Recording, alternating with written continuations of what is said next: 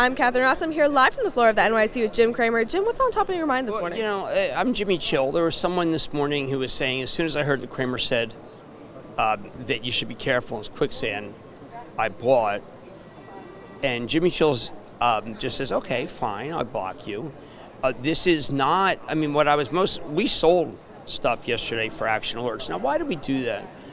Because if you step away and you know the way the market works, you get a rally when nothing bad happens, uh, and then you realize, and well, all I'm doing is using the Ben Stoto timeline of what happened with Ebola when you finally had someone who died in America, which could happen.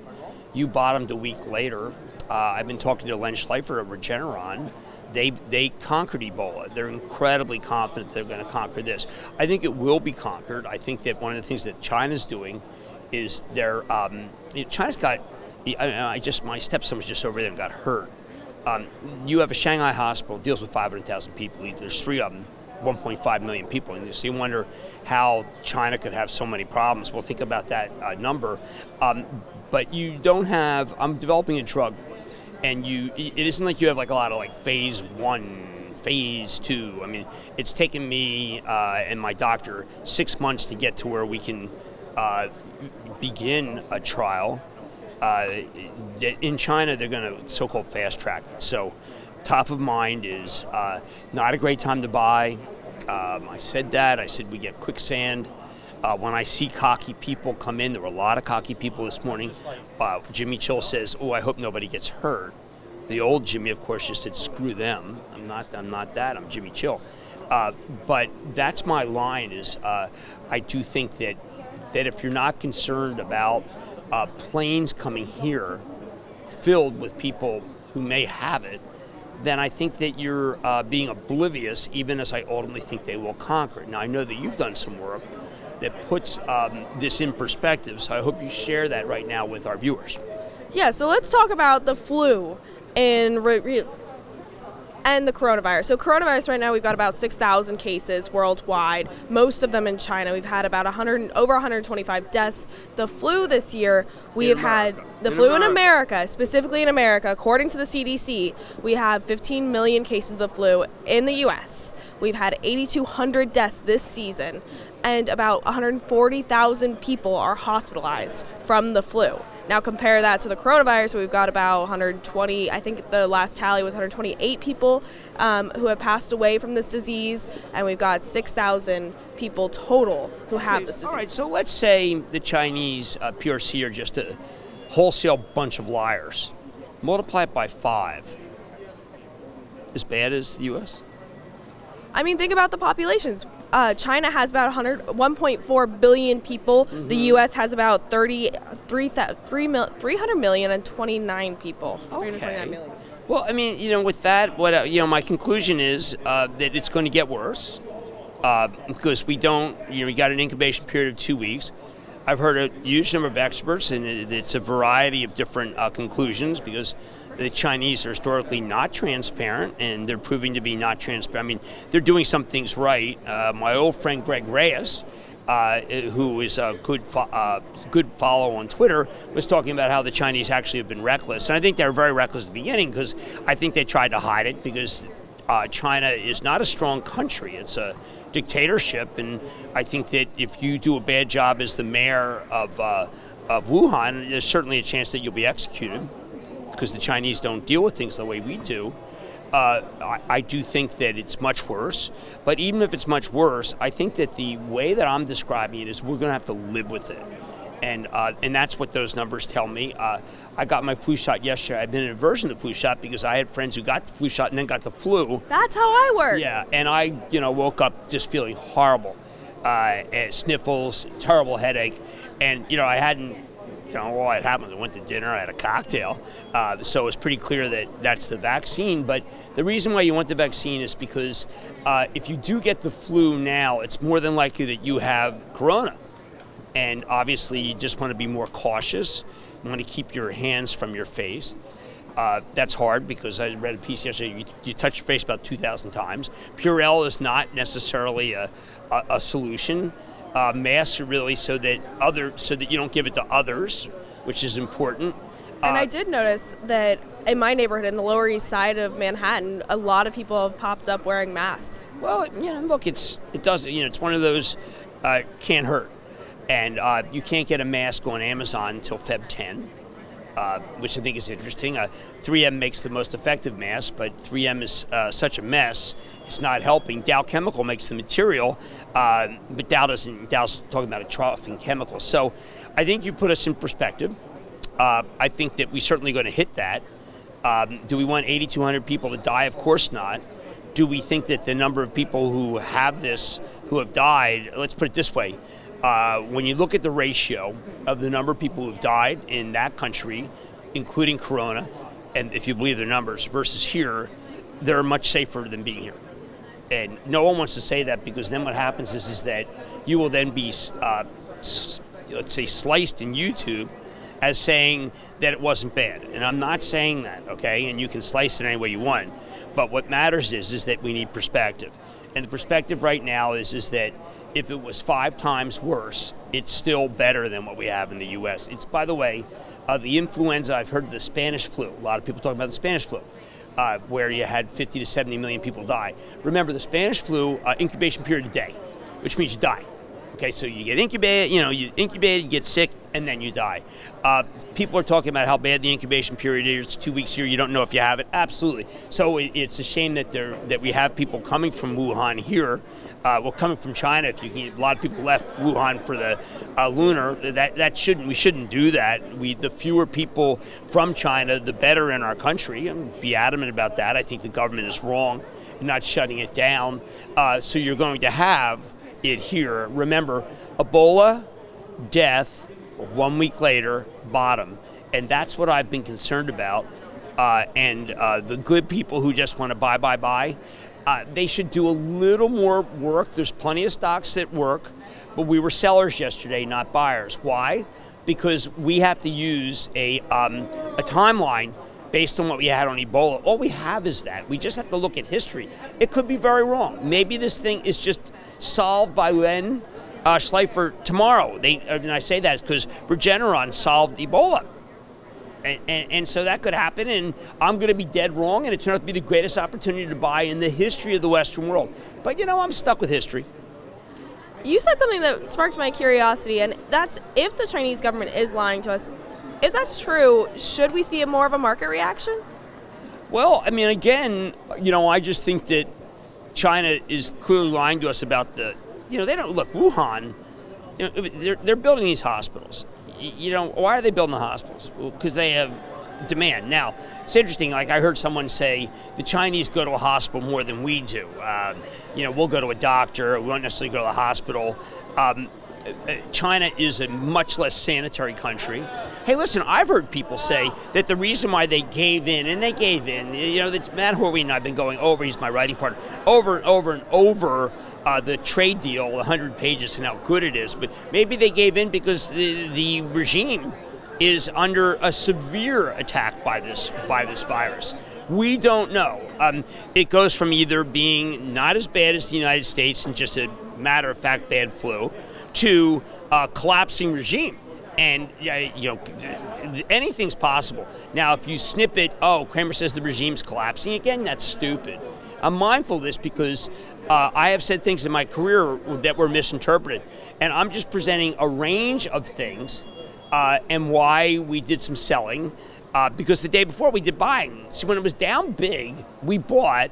Uh, but when it was up really big, we trimmed so that we ended up with not putting new money to work. It's it, it, it's called investing. It, it's it gets done. Jimmy, chill. Jim, let's talk. Let's switch our um, attention to earnings, and I want to first start with Boeing, which reported earnings that came in below forecasts. But one thing well, that, that was good, that was good because some of the forecast was made by uh, Dennis Muilenburg. Now I want to defend Dennis for a moment. Okay. Um, what really happened here is, is that uh, Calhoun and Greg Smith have gotten together. Greg Smith, the CFO, who was straight shooter the whole time, and said, "Look, you know, we can't overpromise anymore. It's out of our hands. Uh, the issue safety. That's all they care about.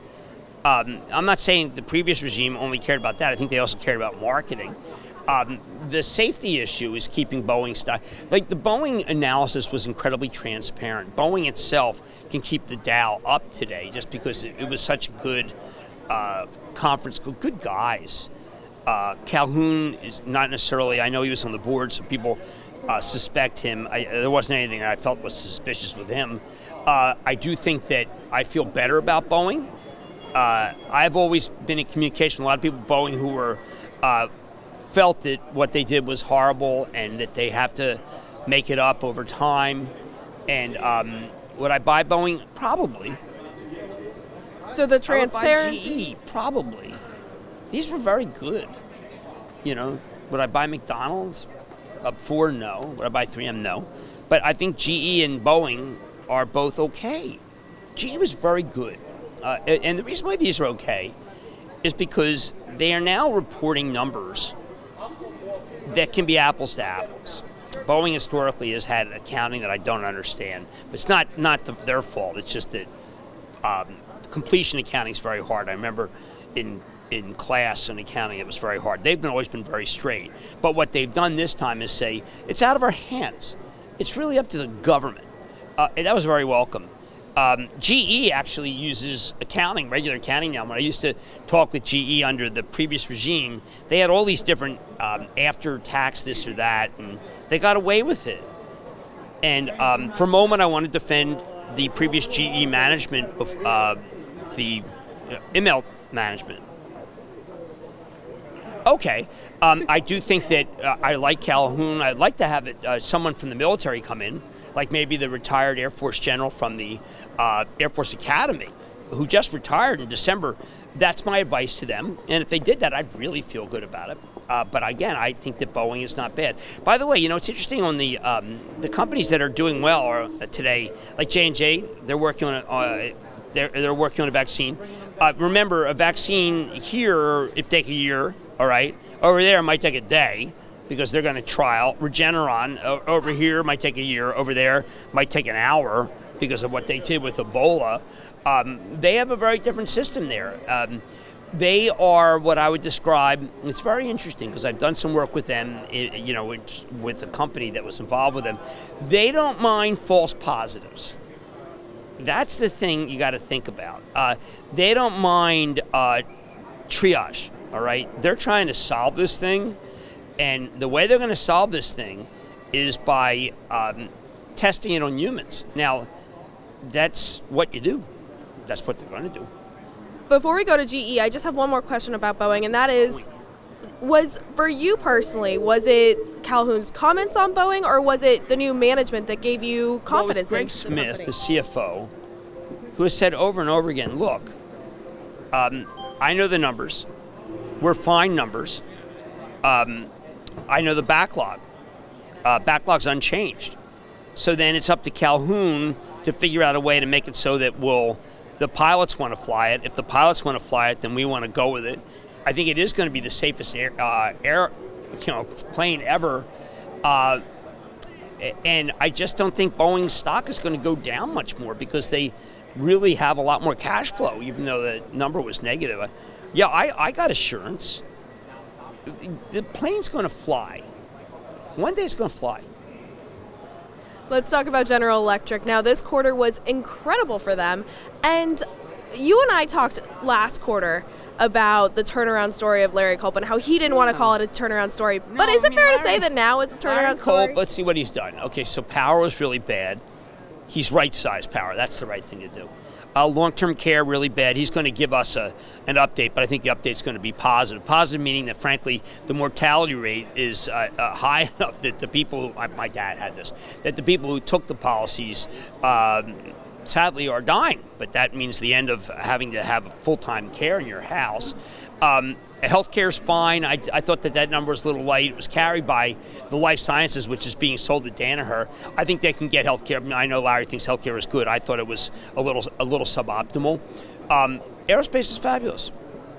It's fabulous. Like United Technologies yesterday uh, with Greg Hayes. Aerospace is fabulous, and we all now obviously the if the max were to be good, you would see remarkable numbers. And one day the max is going to be good. So uh, that's a buy. Before we head over to our Action Alerts Plus Daily Rundown show, I do have one quick question on Apple, and that is that it missed services revenue. It missed the forecast for Well, services revenue. you know revenue. what happened? I mean, everyone kind of said, you know what, we don't care if the Apple phone doesn't do well. We'll make it up with services. Well, we see now that when the phone grows, you have to raise numbers. No one ever, you know, people were, the service number was fine. And, and what they're doing is they're bundling things, and service number was off 5%, but the, the $4 billion delta was the phone itself. And now when you get that phone, remember, that's going to be a tail that's going to have services. They bought back 40% of the company at $129. Um, they're smart. They're smart in so many different ways. Uh, I use the uh, the new Air, you know, the AirPods. They're fantastic. The AirPods Pro? Yeah, the Pro. The watch is great. Um, I subscribe. Well, you know, Apple, you get it. Uh, you know, Tim Cook has gone to be someone. They actually have a couple of health, by the way, that I'm going to participate in some long, longitude studies. Um, Tim Cook has gone from someone who so-called didn't invent anything to someone who has reinvented the company, and I keep uh, pushing them to say, okay, if you have 98% satisfaction on a phone, and then you have Apple, you know, you have Apple Pay, and you have uh, Apple Care, and you have Apple Plus, and you have Apple this, and you have Apple that, and Apple Credit Card. Can't we presume eventually that you bought a razor, and then you have to buy all these blades? They're still not willing to do that. I keep pressing them. My, All right. My predilection. Remember, today's a fulcrum day. You're going to see Boeing up, and then you're going to see a lot of stocks where people are going to take profits. And that's something that uh, we went over again for Action Alerts today. We took the profit yesterday when the profit taken was good. Uh, I'm looking at, at different things to sell, not buy. And we're going to be talking about that when we head over to our Action Alerts Plus Daily Rundown Jimmy, show. Jimmy Chill is not confident and he's not underconfident. All right, Jim, thanks for joining us today. Guys, find us on actionalertsplus.com. I'm Catherine Ross, and we'll see you tomorrow.